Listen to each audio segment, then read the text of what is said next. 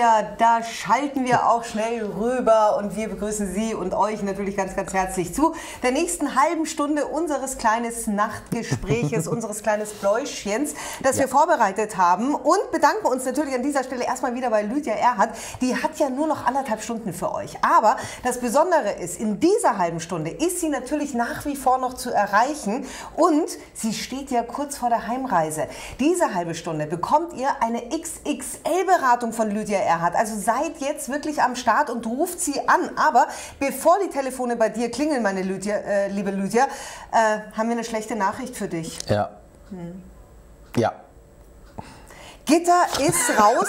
Das hat uns ganz genauso geschockt wie ja. dich jetzt gerade auch. Aber ähm, ja, irgendwie so richtig glauben kann man es nicht. Liegt es vielleicht daran, was meinst du denn, Lydia, dass ähm, Gitter vielleicht jetzt bei einem gewissen Promi-Big Brother-Publikum äh, ja, ein bisschen untergegangen ist und da eben nicht so eine Fanbase hinter sich stehen hat? Ja, sie, ich meine, die Gitter ist, äh, verkörpert sehr viel Anspruch auch, ja.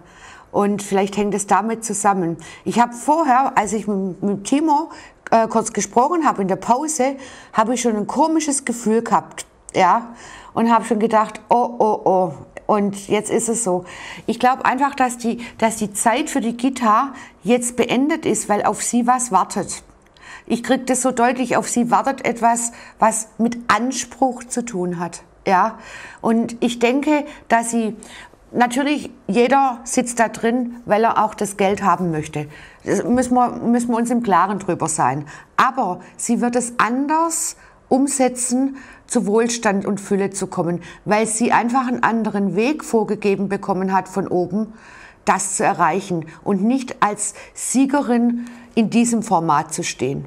Also ich wünsche es ihr. Ich ja. wünsche es ihr natürlich absolut. Oh, jetzt ist die äh, Lydia kurz weg. Ich hoffe, du kommst gleich wieder, denn du bist natürlich auch unter der Telefonnummer zu erreichen. Da ist sie wieder. Äh, jetzt in der nächsten halben Stunde natürlich bist du für deine Anrufer da und das Besondere ist eben jetzt weiterhin anonym.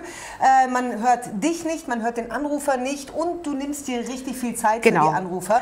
Äh, ich hoffe, der Schock sitzt jetzt nicht allzu tief. Also ich äh, finde es auch traurig, aber ja. ich finde es sehr schön, was du gerade gesagt hast, Lydia. Nämlich vielleicht wartet auf Gitter jetzt jetzt irgendetwas anderes, irgendetwas Großes. Mhm. Das wünschen wir ja alle.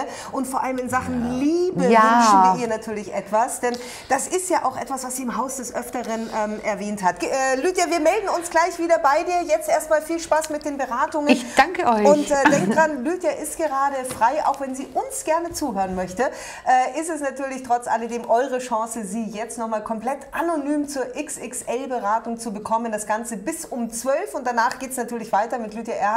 Es sind ihre letzten anderthalb Stunden. Also wirklich jetzt ausnutzen und aus, also ihre letzten anderthalb Stunden auf äh, hier auf Sendung. So. Natürlich werden sie, äh, ja. Ne? Und so. Nicht, so. Lass uns lieber ja, über genau. die letzten Stunden von Gitter Sachs im Promi Big Brother Haus reden. Äh, nein, also mir tut es wirklich leid, ähm, weil, ja. weil Gitter ist ja einfach mal eine extrem sympathische Frau. Ja. Ich war sogar ein bisschen verwundert, dass Jörg sie heute wirklich auch gewählt hat, weil der ist ja nun mal auch ein sehr empathischer Mensch. Aber der hat etwas gesagt, was vielleicht auch dem Publikum aufgefallen ist, nämlich, dass sie ihre Meinung einfach mal hat. Sie ist mhm. zwar jemand, die loyal ist, sie ist zwar auch jemand, die anderen, ähm, ja, deren Meinung gelten lässt, aber sie ist halt nicht von ihrem Weg abzubringen. Sie hat Merkur im Steinbock, die sagt, ich mache das und ich drehe das und ich ziehe das bis zum Ende quasi durch. Ich bleibe bei meiner Meinung, ich bleibe bei meinem Thema und so weiter. Und ich finde es von Jörg auch gut begründet im Grunde. Also es war, ich finde es eine der tiefgründigsten Begründungen, die jeweils in so einer Nominierung Viel ist. ihm auch schwer. Ja, viel ihm schwer, weil du hörst immer, ja, der fühlt sich nicht wohl und dem geht es nicht gut, wo ich mir denke, woher wissen die anderen, dass es denen nicht gut geht. Aber das war eine gute Begründung und die ist halt so, die ist halt eine taffe Frau, ja.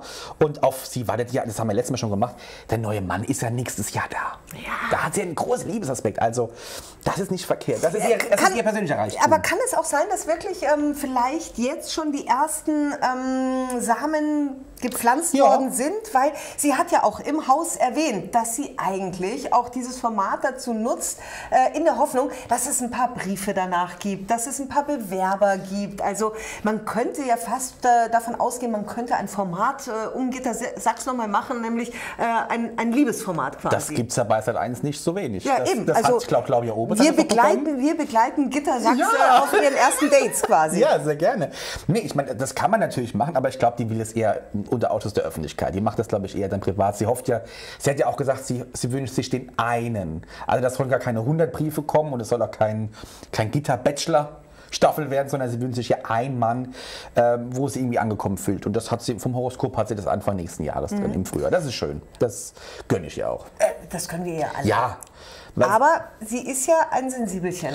Ähm, Schmerzt es sie jetzt sehr? Also Ja. ist das jetzt Ja. ein Tiefschlag für sie? Weil ähm, sie hat sich ja offenbart auch in dem Big Brother Haus und hat gesagt, eigentlich will sie ganz gerne gewinnen, weil sie wüsste relativ viel mit der Gewinnsumme natürlich anzufangen. anzufangen. Ja, das, das schmerzt schon, weil dann im Grunde jetzt Probleme, also was heißt Probleme entstanden sind, aber es ist nicht so gelaufen, wie man sich das vielleicht Und vorgestellt denkst hat. du, sie hat damit gerechnet, dass sie Chancen hat zu gewinnen? Ich glaube bei ihr das schon, ja. Ich glaube bei ihr das schon. Ähm, weil ich, sie ist so jemand, wenn sie sich was vorgenommen hat, dann glaubt sie auch daran. Das ist ja das, dieser Wunsch ans Universum.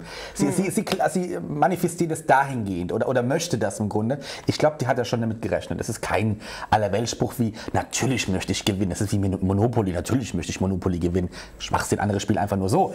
Ich glaube, sie hatte schon ernst gemeint. Das, das kann man schon bei ihr sagen. Also ich hätte es ihr wirklich gegönnt, aber ich war mir relativ sicher, dass sie eben auch in diesem Haus wirklich nicht die Chance hat, Nein, sich ges- so zu etablieren und Genau. äh, wirklich dann auch ähm, ja, als Siegerin rauszugehen. Ich habe ihr gewünscht, noch ein paar Tage länger zu bleiben, weil da gibt es ein paar Kandidaten, von denen hätte man sich vielleicht früher schon verabschieden können. Es wurden ja heute äh, zwei, Zwei. Kandidaten aus Ja. dem Haus heraus äh, geleitet, unter anderem Peyton, über die Peyton. wir gestern noch so nett geredet haben. Ja, aber du siehst, es sind beides Personen, Entschuldigung, ich habe irgendwas im Hals, die im Grunde ruhig waren im dann Haus. frage ich mich ganz im Ernst. Also, Achtung. die habe ich ja so weit hinten.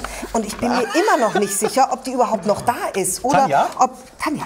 Also, wer ist eigentlich Tanja? Tanja. Ich finde, von der kriegt kriegt man irgendwie so gar nichts mit.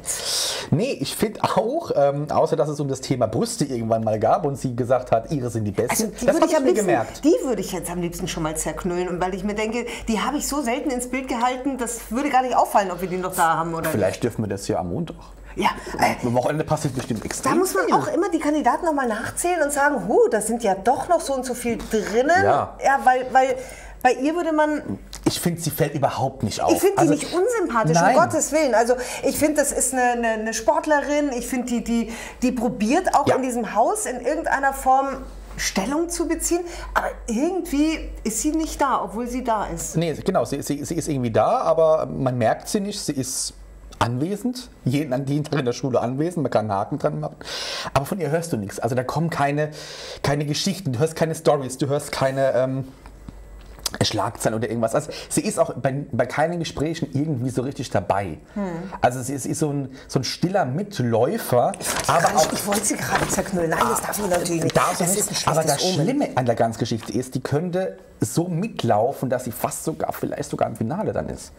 Das könnte Weil ja man auch sie nicht bemerkt. Weil man sie ist so ein Schleicher. Am Ende merkst du, oh Gott, wer ist denn da noch übrig? Nein, die ist dann der fünfte oder so. Ja, wobei Aber man ja auch wirklich sagen oh. muss, man, man muss ja für die Leute anrufen. Obwohl, nee, man muss anrufen, wenn man Wenn sie. Raushaben möchte, ne?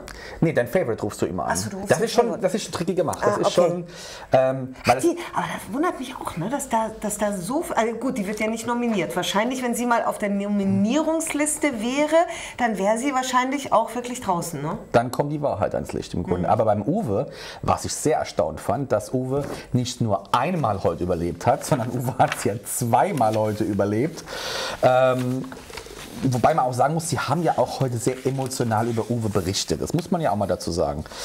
Weil ich glaube, wenn ohne diese Matz von, von Uwe wäre er, glaube ich, heute raus gewesen. Also das vermute ich fast schon, weil es haben sich die Leute um ihn gekümmert. Also äh, er wurde mal zur Seite genommen und gesagt, Mensch Uwe, äh, grenz dich nicht so ab, sei mal ein bisschen mehr teamfähig. Äh, Wir mögen dich doch ein Pipapo. Und er sagt, er möchte keinen Nachwuchs wegen seiner Nase, weil er nicht möchte, dass die Wobei, Nachwuchs... Also, ja, wobei, da- wobei das finde ich, ähm, da muss ich ganz ehrlich sagen, ich glaube, das ist so schmerzlich. Also Ja. dieses, diese, weil ich glaube, dass der Uwe den Kinderwunsch hat. Ich glaube, der Ja. hätte gerne Familie. Ich Ja. glaube, der hat seine Liebe gefunden. Ich glaube, der würde gerne ähm, natürlich auch ähm, ein, ein, ein, ein, ein richtig schönes Familienleben haben. Aber, und das muss man auch sagen, er ist wirklich auch sich oder dem Kind gegenüber so, dass er sagt, ich möchte nicht, dass mein Kind das Gleiche mitmacht, was ich mitgemacht habe. Ja, ja. Und dann siehst du, welcher Schmerz eigentlich Ja. noch in ihm stecken muss. Das hat der bis heute nicht verkraftet und der leidet nach wie vor noch darunter, ähm, obwohl er jetzt ein erwachsener Mann ist. Also Das geht nie weil weg. normalerweise weißt du doch, wenn du, wenn du selber sowas hast, dann bist du vielleicht auch stark genug, deinem Kind zu sagen, es muss dich nicht interessieren, was die anderen denken.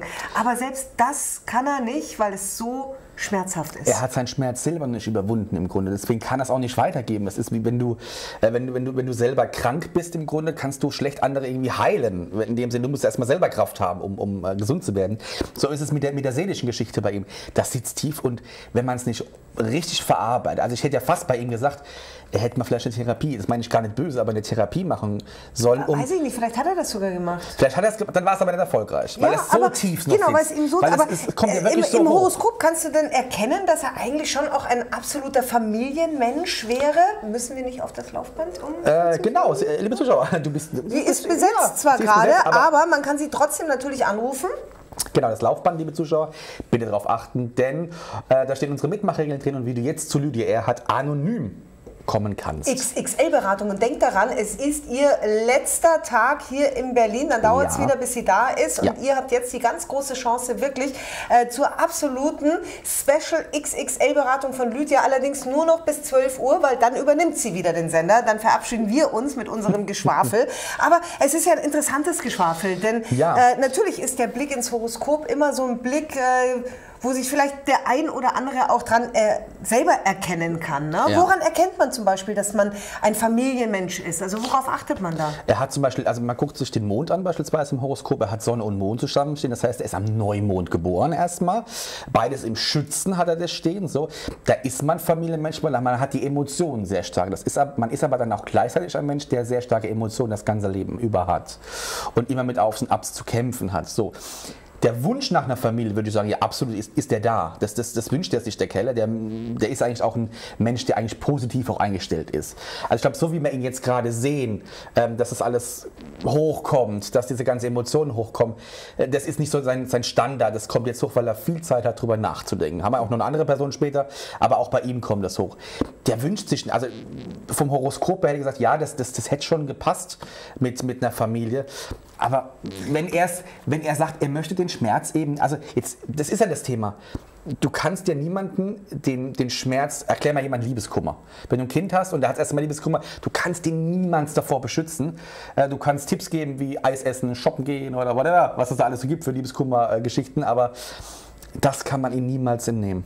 Jetzt äh, ist er aber heute auch, finde ich, ein bisschen falsch eingeschätzt worden von seinen Mitbewohnern. Die haben ja heute so ein Spiel gespielt. So ein ganz brutales Spiel, finde ich. Da ging es um die Intelligenz.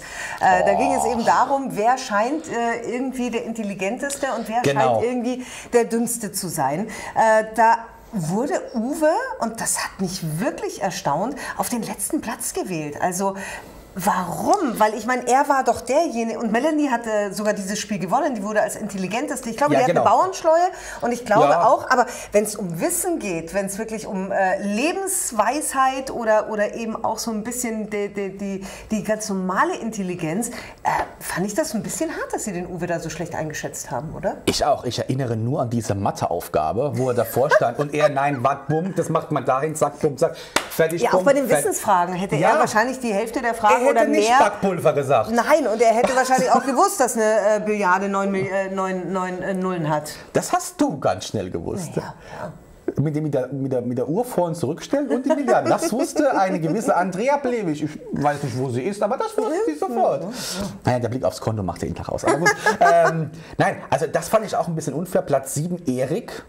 Haben sie Der aber gesetzt, sehr darunter der, der sehr hat. darunter gelitten hat, weil auch hier wieder alter Schmerz hochkam. Alte Wir Blockade. haben, wir haben hier die letzten zwei Sendungen, also ich finde Donnerstag und Freitag, waren sehr wir sind ja hier bei einem spirituellen Sender, aber war wirklich sehr spirituell irgendwie. Also Ja, angefangen weil so viel aufbricht. Ja. Ne? Und plötzlich merken wir, dass diese Blockaden, über die ja ihr Berater auch ganz oft sprecht, nämlich Ja. dass im Laufe des Lebens da sich natürlich was anstaut und dass man vielleicht auch manchmal ein paar Jahre über die Dinge hinweg gucken kann, die Mhm. vielleicht sogar auch mal vergessen kann. Aber irgendwann kommt ein Zeitpunkt und da wird es wieder getriggert. Und dann ist es vielleicht in so einem Promi Big Brother Haus, Ja. wo es nochmal hochkommt, nämlich dieses Gefühl, man hat mir damals schon nichts zugetraut. Ich Ja. war schon immer derjenige, den sie immer in eine Richtung getan haben, als wäre ich der, der Dumme. Dumme. Und jetzt möchte ich es natürlich allen beweisen. Also guck doch mal bei Erik zum Beispiel Ja. ins Horoskop, weil er hat ja gesagt, er ist, es ist jetzt seine Zeit.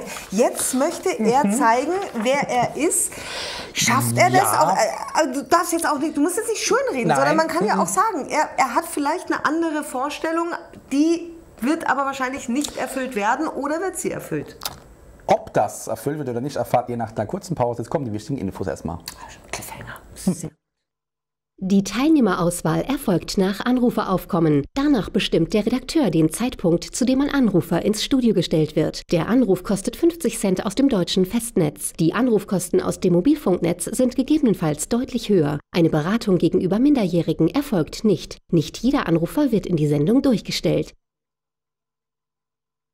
Oh, sind zurück, genau. So. Wir sind noch eine Frage schuldig mit dem Erik. Genau. Gibt es da auch Blockaden? Kann man im Horoskop Zeit. eben auch diese Blockaden Ja. sehen? Ja, also, Also momentan sowieso. Also er, ähm, das Problem an Erik ist, er will gerade vorankommen, er möchte gerade extrem auffallen, er hat ein großes Ziel, hat er auch heute gesagt mit, dieser, mit seiner Krone, das ist ein Symbol für ihn, dass er Erfolg erreichen will, auch wenn die Krone 5 Euro kostet und so weiter. Das ist für ihn ein Erfolg. Und ich sage aber, naja, das, letzte, das nächste halbe, dreiviertel Jahr ist das noch sehr auf Sparflamme, dieser Erfolg. Das ist jetzt noch nicht so, dass man sagt, das geht hier äh, hinaus. Das ist noch sehr viel Arbeit, ist dann noch auf ihn. Er hat einen Saturn-Aspekt, der ihn blockiert. Saturn macht alles langsam. Also wenn du irgendwie mit, mit, mit einer Schnecke unterwegs bist, dann kommst du auch nicht voran. Wenn du dich aber, was weiß ich, am Känguru in den, in den Sack vorne bist du schneller voran, sag ich jetzt einfach mal. Und er ist bei der Schnecke gerade noch Bild gesprochen und es dauert noch ein halbes Jahr. Und dann hat er aber nächstes Jahr wirklich gute Aspekte, wo er die auch ausnutzen kann, was er vielleicht bis dahin gemacht hat. Es kann aber auch Big Brother einfach nur ein Input sein, um vielleicht danach selbst, weil er muss arbeiten. Ihm wird nichts geschenkt. Er denkt jetzt nicht so, jetzt bin ich bei Big Brother gewesen, jetzt läuft alles, ich muss jetzt gar nichts mehr machen. außer der blaue Haken. Ich habe das Gefühl, der kriegt den blauen Haken danach. Äh, Vielleicht. Bei Instagram. Also da bin ich, bin ich fest von überzeugt. Der hat jetzt knapp 40.000 Follower. Jetzt ist er fast drei Wochen in diesem Container drinnen. Da muss also anfragen. da Komm. gibt es wirklich andere, die äh, viel, viel früher schon ihren blauen Haken bekommen haben als äh, Dr. Simpson. Also äh, ich würde es ihm jetzt auch gönnen. Also ein bisschen erfolgreich soll er doch dann schon mal sein mit dem blauen Haken. Das auf jeden Fall. Und er grübelt gerade extrem selber nach. Was heißt jetzt im Moment, es sind noch drei Monate, wo er gerade sehr große Selbstzweifel hat, die teilweise auch gerade rauskommen im Haus, wie ich finde. Ja, Weil er doch viel überlegt. Genau, äh, mir tut es ganz furchtbar leid, dass wir eigentlich auch eine schlechte Nachricht gerade haben. Da geht es zwar nicht ums Promi Big Brother Haus, aber wir wollten mit einem Prominenten über solche Formate reden, mit Daniel Lopez nämlich. Ähm, dessen Telefonnummer wir hatten, aber wir erreichen ihn gerade nicht, weil nur die Mailbox rangeht. Jetzt will ich ihm ja nichts Schlimmes unterstellen, weil ich weiß noch, in unserer Kommunikation hat er immer gesagt, oh, so spät und äh, er ist auch Vater Ja, und er will das Kind dann auch nicht wecken und so. eh nicht. Dann haben wir uns aber eben für äh, heute geeinigt, weil es eben nicht ganz so spät ist. Und er hat auch zugesagt, jetzt erreichen wir ihn leider Gottes nicht. Er ist ja auch jemand, der bei so einem Format mitgemacht hat, allerdings ja auch nie lange drinnen war. Ähnlichkeiten zu unserem Daniel Kreibig kann ich da nur sagen. Dschungelcamp, erster Tag und er war raus. Und, und er war raus, aber er hat die, die Quarantäne mitgemacht. Das muss man auch immer sagen. Ja, aber da, da, da, da, so. Ja, ja, aber der Daniel, also mein Da- Meister ist der Daniel, ja, ja, Ja, natürlich. ja, Man muss ja sagen, das tut schon weh. das, ja, ja, ja, ja. ja, das tut schon weh. Nein, aber bei Daniel Lopez ist so, so ein, wenn man sich das so anguckt, was er so, was er so gemacht hat, bei DSDS war er relativ früh draus. Dann gab es Stress, weil er einen Plattenvertrag unterschrieben hat und wurde gestrichen auf der DSDS-Platte. läuft nichts wirklich rund, ne? Nein, und dann, dann wurde ihm noch, glaube ich, eine Affäre auch mal irgendwie angehängt. Irgendwie sowas. Das war auch mal irgendwo, damals in der Bravo. Damals habe ich noch Bravo gelesen. Ähm, dann war er. Bist du jung oder bist du einfach nur so spät pubertär gewesen, dass du mit 28 noch die Bravo gelesen hast? Nein, ich war damals ganz jung noch. Ne? Und ähm, dann war er äh, im Dschungelcamp, war er auch relativ still und ähm, bei Langweilig. Voice in Brasilien. Da habe ich das nicht gesehen. Naja, er hat einige Ähm, Sachen. Er hat, er hat einige hat die Alben noch mitgemacht. Also es gab Stimmt. schon so ein paar Sachen, wo man ihn hätte sehen können. Aber, und das war auch im Laufe unserer Vorbereitung auf die Sendung heute, ihn einzuladen als Gast, er war nicht besonders zuverlässig mit vielen Sachen. Also wenn er nicht wollte, dann hat man nichts von ihm gehört. Ja. Dabei ist er ja jetzt auch kein Superstar mehr. Also das muss man ja auch sagen. Also man muss ja auch manchmal, das Kleinvieh macht manchmal auch Mist. Ist, äh, um vielleicht in der Öffentlichkeit nicht ganz so vergessen zu werden. Äh, wenn er so weitermacht, habe ich das Gefühl, wir haben ihn im nächsten Jahr richtig vergessen, den Daniel Äh, Lopez. ja, er ist Wassermann-Aszendent. Das Viele werden sich jetzt schon fragen, wer wer ist ist das, das eigentlich? Wir haben auch gar kein Foto eingeblendet, fällt mir gerade Ja, ein. genau. Können wir ihn einmal ganz kurz zeigen für diejenigen, die vielleicht irgendwie DSDS gar nicht mehr auf dem Schirm haben oder gar nicht wissen, über welchen Daniel Lopez wir da gerade reden. Äh, hat sich ja auch ein bisschen verändert. Ist ja auch älter geworden, ne? Ja, cool. ja, okay, aber gut. Nun ja. Gut. Es ist Ich nicht Alexander Klavs, aber gut. Ähm, nein, Wassermann-Aszendenten ist halt, Wassermann ist immer sehr, äh, sehr, sehr hühnhot, ja. Wassermann will mal auf allen Hochzeiten gleichzeitig tanzen. Unzuverlässig, hast, trifft es schon ein bisschen Ja, bei nicht, Wassermann. und nicht am Ball bleiben. Also genau. ich glaube, das wäre Genau. auch ein Kandidat im Promi Big Brother Haus, äh, der relativ früh wieder rausgehen würde, wenn er nicht sogar auch freiwillig rausgehen würde, weil ihm alles irgendwie dann doch zu viel, ist. zu viel ist. So, jetzt muss ich ihn aber ein bisschen in Schutz nehmen. Ein kleines bisschen muss ich in Ja, Schutz nehmen. ich bin einfach nur traurig. Aber ja, nein, ich muss auch sagen, um Gottes Willen, ich will gar nicht über ihn herziehen. Vielleicht stellt sich morgen raus, dass äh, in irgendeiner Form Das, was ein anderes Problem gab. Ähm, Laufbahn wieder beachten, liebe Zuschauer. Hier stehen unsere Mitmacher, Helen Drehen und Video zu. Und sie, ne? Lydia Erhardt. Ja, und wenn ihr zu. Lydia wollt, dann äh, jetzt noch mal die letzten zehn Minuten wirklich nutzen. Sie ist zwar gerade besetzt, aber wählt euch ein, denn vielleicht seid ihr der Nächste für eine XXL-Beratung. Ab 12 ist sie nämlich wieder ja, mit der normalen Beratung für euch da, allerdings auch noch eine Stunde und dann geht es auch für Lydia wieder nach Hause. Also wer jetzt wirklich auf ein Gespräch mit Lydia hofft, äh, der sollte jetzt diese zehn Minuten auf jeden Fall noch ausnutzen. Genau. So, lass, äh, genau, du wolltest Daniel einmal. Ähm. Daniel Lopez noch in Schutz nehmen, aber dann trennen wir uns auch wieder von ihm und gerade- reden über wichtigere Dinge. Er hat seit zwei Jahren so einen Aspekt, wo man nicht richtig vorankommt, wo man auf der Stelle tritt, leider Gottes. Ähm, das hält noch ein halbes Jahr an. Also ich hätte ihm auch gesagt, nächstes Jahr ist es wirklich ein guter Aspekt, ein guter Karriereaspekt, den er bekommt, wenn er ihn nutzt ab Mitte Januar. Dann hat er einen zweieinhalb Jahre im Horoskop drin. Jetzt momentan, aber ich kann mir wirklich vorstellen, dass der ganz viele andere Sorgen auch wirklich gerade hat. Ja. Das ist jetzt wirklich kein Ja, leichter deswegen, Aspekt, muss ich nein, jetzt auch mal sagen. möchte ich mich auch schon Ähm, entschuldigen. Ähm, aber- ich hätte mich halt gefreut. Ich hätte mich halt gefreut, wenn wir ihn gesehen hätten oder gehört hätten. Aber vielleicht holen wir das nochmal nach und vielleicht ähm, schreibt er uns ja morgen eine Entschuldigung und dann sind wir ja auch nicht nachtragend, Aber sondern Mama, ich muss unterschreiben bei der Entschuldigung, dann wie früher in der Schule. hören wir uns einfach nächste Woche. Sehr es gut. ist etwas Skurriles passiert, das aber bis ähm, Ende Big Brother, also wir sind natürlich irgendwann mal wieder rausgegangen, vielleicht wird es jetzt in der Late-Night-Show bei den Kollegen aufgelöst oder es gab irgendetwas, was wir verpasst haben. Melanie Müller hat sich verwandelt und man wusste am Schluss irgendwann nicht mehr, ist es jetzt Paco oder ist es jetzt Melanie? Äh, die Haare waren ab. und zwar Haare komplett. Und ich habe das Gefühl, dass auch Danny, ähm, der Ja, hat ja heute den ganzen Tag nur so ein, so ein Ja. ähm, Tuch getragen, dass die beiden, also Danny und Melanie, sich die Köpfe rasiert haben. Die Frage ist groß, ist groß, warum? Warum haben sie Bei das gemacht? Melanie kann ich verstehen. Ja. Die hat äh, Beziehungsprobleme, da sagt man ja, Frauen müssen ihre Frisur verändern. Genau. Also äh, das hat sie heute dann ganz klar und deutlich quasi gezeigt. Aber was ist mit Danny passiert? Ey. Hat er einfach Vielleicht hat er mitgemacht, mitgemacht. oder haben die So eine Wette ich- verloren oder was ist denn da es passiert? erfahren. Wahrscheinlich, ho- es ist ja, gestern Abend war es ja definitiv die Haare noch dran in der Live-Schalt, also muss es ja heute passiert sein. Sehen wir es also morgen. Außer der Late Night vielleicht in der anderen, aber bleiben Sie lieber bei uns. Ähm, aber ich finde Melanie fast jetzt, das hast du gesagt, nee, das sieht ganz, aber mir gefällt die Also so ich hätte jetzt richtig, besser. ja, aber ich hätte jetzt richtig Angst. Also hat Aber die ja eh schon, das. sie hat ja eh schon so eine Ausstrahlung, Ja. also so eine androgyne Ausstrahlung, so eine Brigitte Nielsen, also so wirklich Ich weiß, eine du tough, taffe Ja. Frau, androgyn. Jetzt äh, mit den kurzen Haaren, also nach dem Dschungel mit dieser Kurzhaarfrisur, sind die Leute ja schon erschrocken und haben sich gedacht, um Gottes Willen, sie hat halt ein tolles Gesicht, äh, sie kann das tragen, Ja. weil einfach ähm, ja, der Ausdruck natürlich stimmt. Stimmt. Aber ich finde jetzt mit diesem ganz abrasierten Kopf sieht sie schon sehr herb und heftig aus. Also Ja, aber ich finde, das ist- das weiß ich nicht, ob man Message. ihr in der, in der Nacht begegnen möchte. Na- Mit einem Promi Big Brother Umhang.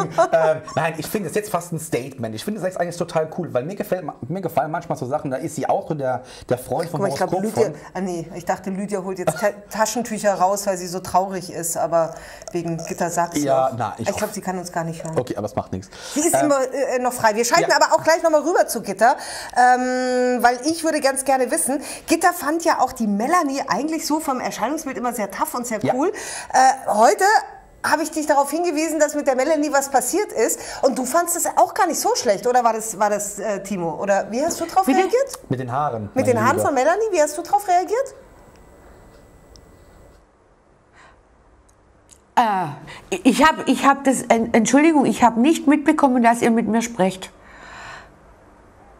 Ja,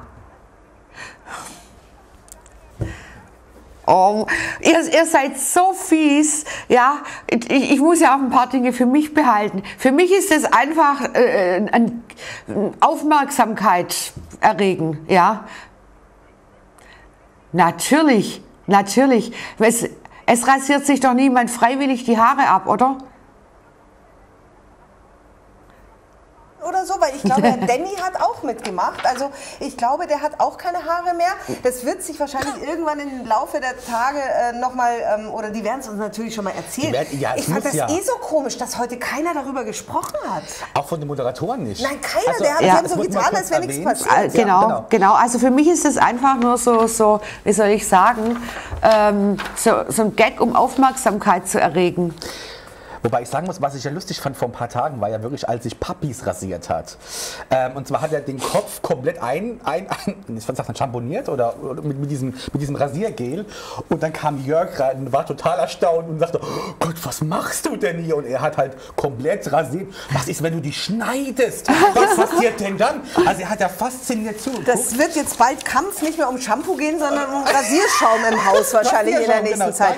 Lydia, du bist noch fünf Minuten für die Zuschauer. Ja ja, jetzt, und ähm, in der XXL-Beratung genau, zu erreichen, die genau. letzten fünf Minuten, bevor du wieder zur letzten Stunde antrittst, mhm. denn dann bist du auch schon wieder fast weg und auf dem Heimweg. Das heißt, wer dich jetzt erreichen will, der sollte sich jetzt nochmal richtig ranhalten. Ne? Ja, jetzt, jetzt gibt es noch eine XXL-Beratung mit allen Schikanen und natürlich auch gerne mit Eintrag in das Glücksbuch für die Zeremonie am 5.9. Also jetzt kann noch jemand tatsächlich aus dem Vollen schöpfen, da freue ich mich drauf und bedanke mich auch bei dir, liebe Andrea, und bei dir, Timo.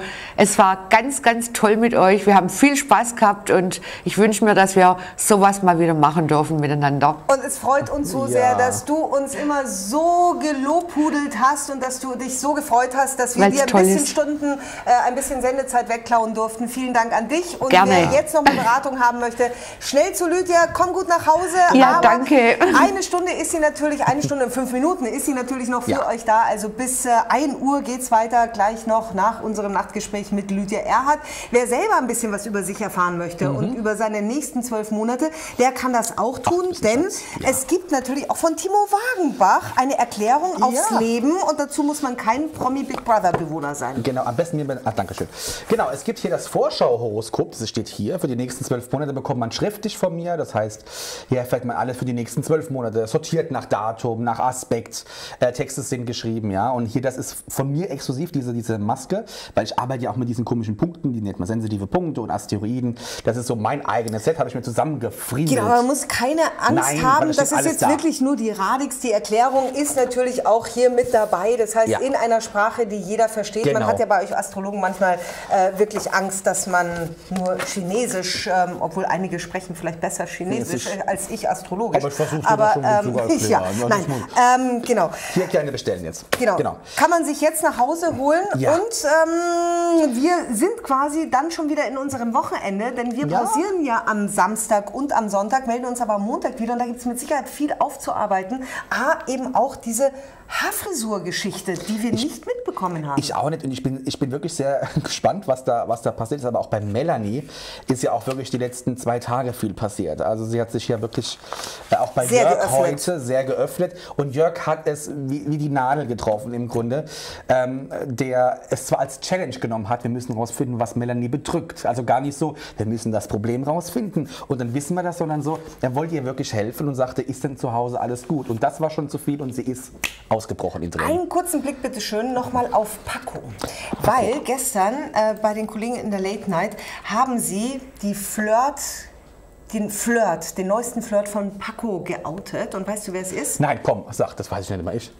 Äh, heißt sie Jessica? Jessica Pink? Ja. Pink, ja, die, Nein, komm, die, die mit dem, mit dem, ja, ja, ja, die, no, die, ja, ja, genau, ja, die hübsche, ja, da, äh, bandelt, ja, da bandelt sich gerade was an zwischen Nein, ihr echt, und Frau Jessica, Pink. Ich dachte die Hellseherin, diese, diese, diese Ki Spaß, aber. Ach so, ich dachte. äh, nee, aber guck mal ganz kurz, weil wir sind fast schon am Ende, aber könnte da was draus werden? Das ist ein zartes Flämmchen gerade. Ähm, Paco, glaube ich, schwerst verliebt, Traumfrau und so weiter und so fort. Und sie möchte das das Ganze einfach mal abwarten. Also die hatten schon ein Date und haben sie auch schon mal getroffen, hat sie erzählt.